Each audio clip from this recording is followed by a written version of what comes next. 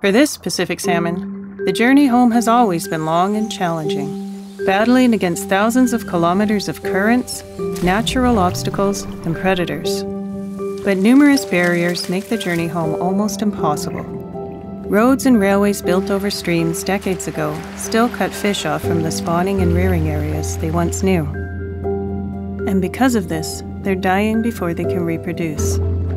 It's not just fish that are impacted, many animals, plants, and communities are suffering. But home isn't gone, it's out there.